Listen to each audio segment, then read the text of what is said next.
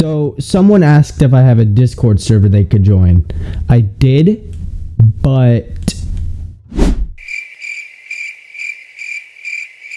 It's kind of dead.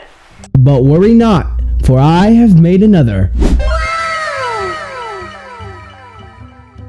In this server, you can give me suggestions for future videos or ask me questions in the FAQ channel. Stay up to date with my latest uploads and more to come in the future.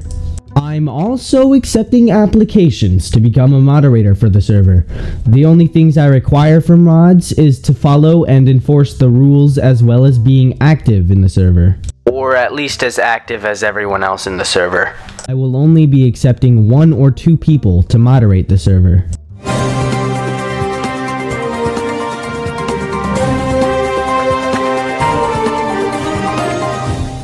In unrelated news, my Wi-Fi is out, so I won't be able to upload any Minecraft Societies until it gets fixed.